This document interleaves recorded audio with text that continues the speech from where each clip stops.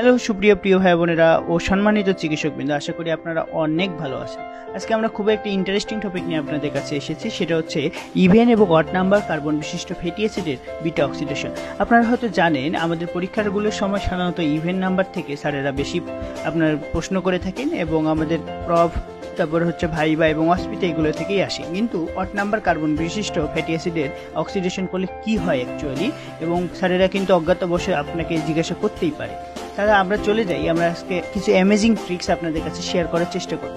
আপনারা হয়তো জানেন, আমাদের যে ফ্যাটি অ্যাসিড ফ্যাটি অ্যাসিড থেকে অক্সিডেশন করলে আমরা কি কি পাই? যে acetyl CoA acetyl CoA acetyl CoA then আমরা পাচ্ছি এন এ ডিএইচ এবং এফ এ ডিএইচ টু এবং with the help of acetyl CoA synthase এবং এসিটাইল কোয়ে ডিহাইড্রোজিনেস এটা সিনথেস এবং এটা ডিহাইড্রোজিনেস আমরা জানি যে একটা এসিটাইল কোয়ে থেকে কয়টি এটিপি পাওয়া যায়? একটা এসিটাইল কোয়ে থেকে বারোটি এটিপি পাওয়া যায়।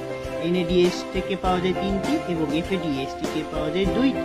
তা দেখেন, এখানে আমরা কিছু ইন্টারেস্টিং একটা টপিক আপনাদের বলি। ধরে নেন, আপনাকে বলব, বিশ কার্বন বিশিষ্ট একটা ফ্যাটি অ্যাসিডের অ্যাসিডে বা ফ্যাটি অ্যাসিডের আপনাদের অক্সিডেশন করতে বা বিটা অক্সিডেশন করতে তাহলে আপনি কি করবেন? আপনি করবেন যে আপনি জানেন যে এটা অর্ধেক সংখ্যক হয়, তাহলে আমরা এটা করতে পারি এন বাই টু সংখ্যক হচ্ছে কি? এটা হচ্ছে এসিটাইল কো এ ঠিক আছে? এসিটাইল কো এ এবং হচ্ছে N by two minus one সংখ্যক হবে তাহলে কি? এটা হচ্ছে N A D H equal to F A DH two তাহলে আমরা এগুলো পেয়ে যাচ্ছি, তাহলে খুবই সহজে আমরা পাওয়া যাচ্ছে বিশ কার্বন বিশিষ্ট। তাহলে এসিটাইল কোয়েকে আমরা কি করব? তাহলে পেয়ে যাচ্ছি দশটা এসিটাইল কোয়ে এই সতেরোটা দিয়ে, তাহলে এসিটাইল কোয়ে পেয়ে যাচ্ছি আমরা কয়টি? টোটাল দশ দশটি ইন্টু বারো। আমরা পেয়ে যাচ্ছি এনএডিএসটি তাহলে কয়টি? দশটি থেকে আমরা একটি বিয়োগ দেবো।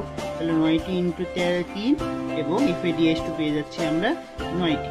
তাহলে এফএডিএস টু ইন্টু টু তাহলে আমরা যেটা হিসাব করে দেখব, এখানে যদি আমরা হিসাব করি, তাহলে আমরা কিন্তু পাচ্ছি টোটাল একশো।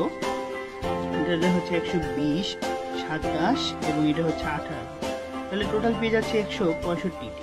এটা থেকে তখন কি করতে হবে? কেননা আমাদের ফ্যাটি অ্যাসিড অক্সিডেশনের সময় এই আমাদের কি হয়? এখানে যে একটা স্টার্টিং করার সময় আমাদের এখানে দুইটি এটিপি খরচ হয়ে যায়, তখন আমাদের টোটাল আলটিমেটলি হয়ে যাচ্ছে একশো তেষট্টিটি এটিপি ঠিক আছে? কিন্তু একটা অট নাম্বারের ফ্যাটি অ্যাসিডের বিটা অক্সিডেশন করলে কি হবে? এটাই সব থেকে ইন্টারেস্টিং একটি টপিক আপনারা হয়তো জানেন, আমাদের যদি কার্বন সংখ্যা হিসাব করি, বিটা অক্সিডেশনের সময় সাধারণত অট নাম্বারের ক্ষেত্রে কি হয়ে থাকে? আমরা জানি যে কার্বনের যে এই যে প্রত্যেকটা কোনায় কোনায় যেগুলো পয়েন্ট থাকে, এগুলোতে একটা করে কার্বন থাকে। আমরা দেখি এক, দুই, তিন, চার, পাঁচ, ছয়, সাত, আট, নয়, দশ, এগারো, বারো, তেরো, চোদ্দ, পনেরো, ষোলো, সতেরো কার্বন বিশিষ্ট একটা নিলাম, ঠিক আছে? এখানে একটা ইন্টারেস্টিং জিনিস থাকে, যে এখানে আমরা এই যে বরাবর, এগুলো সবগুলো হচ্ছে ধরে নিলাম এসিটাইল কোই চার, পাঁচ, ছয়, সাত। সাত পর্যন্ত গেলাম কিন্তু এইখানে গেলে এই যে যে সতেরো কার্বন বা অট নাম্বারের ক্ষেত্রে একটা ব্যতিক্রম থাকে, এখানে থেকে একটা মূলক যুক্ত থাকে। এই মূলকটা যখন যুক্ত হবে, এই অংশটাকে বলা হয় পরফাইনাল কোই ঠিক আছে? পরফাইনাল কোই পরফাইনাল কোই এই পরফাইনাল কোয়ের কারণেই আমাদের কিন্তু ফার্দার একটা এসিটাইল কোয়ে এখানে কম পাওয়া যায় এবং এখান থেকে পরে এখান থেকে হয়ে থাকে সাকসিনাইল ঠিক আছে? এখান থেকে হবে সাকসিনাইল কোয়ে। সাকসিনাইল কোয়ে থেকে আমাদের আলটিমেটলি তৈরি হবে কি? এখান থেকে তৈরি হবে আমাদের সাকসিনেট সাকসিনেট তারপর হচ্ছে ফিউমারেট ফিউমারেট তারপরে হচ্ছে আমাদের ম্যালেট তৈরি হয়, আমরা হয়তো জানি, ঠিক আছে? তো এগুলো তৈরি হওয়ার সময় এদের প্রতিমধ্যে আমাদের এখানে একটা, এখানে দুইটা এবং এখানে তিনটে এটিপি তৈরি হয়ে থাকে। এবং অরফাইনাল কোয়ে থেকে সাকসিনাল কোয়ে তৈরি হওয়ার সময় একটি এটিপি খরচ হয়। তাহলে মোট নেট এটিপি এখানে ছয়টা উৎপন্ন হলেও যেহেতু একটা খরচ হয়ে যায়, তাহলে এখানে যে পথটা আছে, এখানে আমাদের পাঁচটি এটিপি তৈরি হয়, ঠিক আছে? পাঁচটি এটিপি তৈরি হলো। হওয়ার পরে আমাদের এখানে কিন্তু একটা সূত্র দ্বারা আমরা কি দ্বারা করতে পারি? দেখেন সতেরো কার্বন বিশিষ্ট, তার মধ্যে পাইলাম আমরা এক, দুই, তিন, চার, পাঁচ, ছয়, সাত। সাতটা। তাহলে এখানে হয়ে যাচ্ছে এন বাই থ্রি ভাগ দুই সংখ্যক পাচ্ছি আমাদের এসিটাইল কো এ ঠিক আছে এসিটাইল কো এ এবং এই সংখ্যকেই পাবো আমরা N A D H F A D H same পাবো, ঠিক সেম অ্যামাউন্ট ধরে নিলাম এটা সতেরো কার্বন বিশিষ্ট মূল। তাহলে সতেরো minus three by two by তাহলে আমরা কি পাইলাম এটা? এটা এখান থেকে আমরা পেয়ে যাচ্ছি, তাহলে সাতটা আমাদের এসিটাইল কোয়ে ঠিক আছে, সাতটা এসিটাইল এসিটাইল ও এ সাতটা এন এ ডিএইচ এবং সাতটা এফ এ ডিএইচ টু ঠিক আছে? সাতটা এফ এ টুই আমরা পেয়ে যাচ্ছি। তাহলে এখানে আমরা জাস্ট হিসাব করে দেবো, এটার সাথে বারো, ঠিক আছে? বারো গুণ করব। এটার সাথে আমরা কি করব? সাত ইন্টু তিন, ঠিক আছে? সাত ইন্টু তিন, আর এটা করব সাত ইন্টু দুই, হিসাব করব।